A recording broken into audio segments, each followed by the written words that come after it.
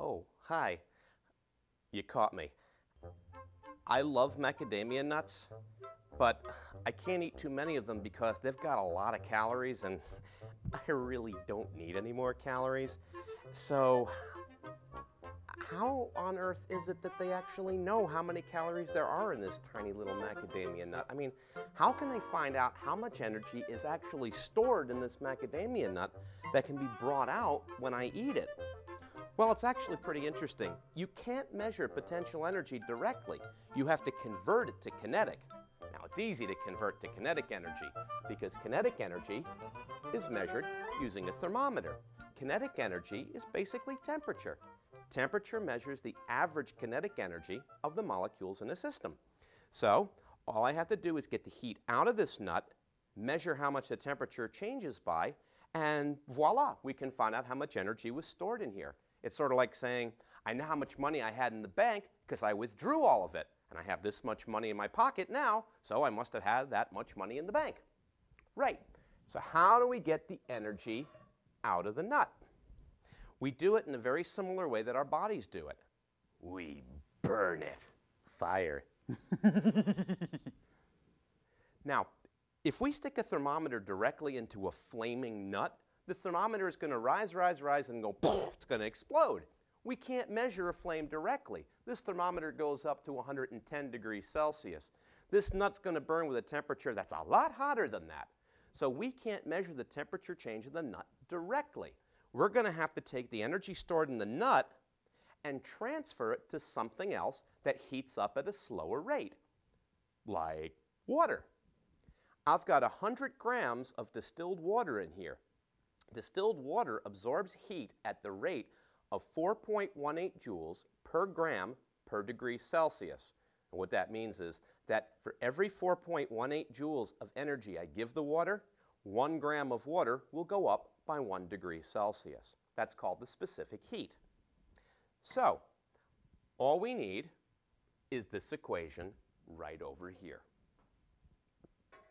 The amount of potential energy stored in the nut, known as Q, is equal to the mass of water we're going to transfer the heat to, measured in grams, times the specific heat of the water, or the rate at which the water absorbs energy, 4.18 joules per gram degree Celsius, times how much the temperature of the water changes by, with the thermometer in degrees Celsius. And I've set up a little data table over here to record that. We're going to start with 100.0 grams of water in the calorimeter cup. I'm going to find out what the temperature is before I light the nut, let the nut burn.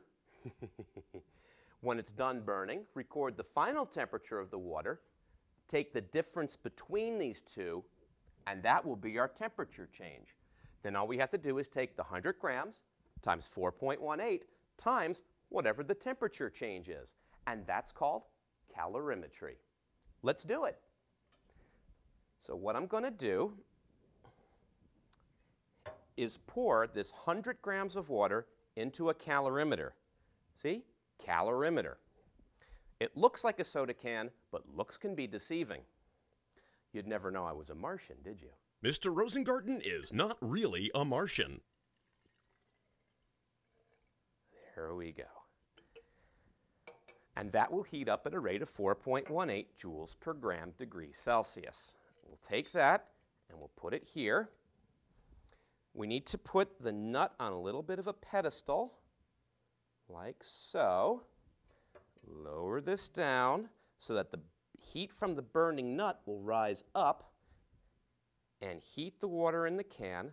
Now the can works pretty well because the can is made of metal, which conducts heat very nicely. And then we're going to lower this thermometer down, down into the can. Now we don't want it to touch the bottom or we'll be recording the temperature of the hot metal because flame equals hot. Okay, right now the temperature is reading about 26 degrees Celsius. Now obviously as we heat this thing up, fire is hot, so the temperature is going to increase. The question is, how much is it going to increase by? And for that, Let's set this nut on fire. I'm going to move it out so that the heat of my lighter doesn't accidentally heat up the water. We only want the heat from the macadamia nut to heat up the water. In a food lab, they would do this in what's called a bomb calorimeter, where the nut is actually enclosed within the calorimeter, and it's ignited using an electric wire. But if we did it that way, you wouldn't be able to see it. There we go. Now we move it under.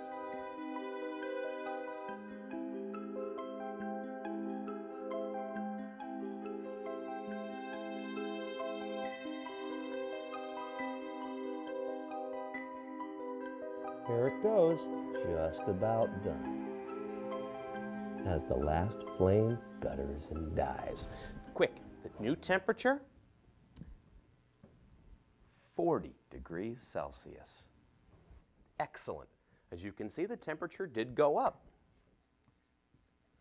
40 degrees Celsius. Fantastic.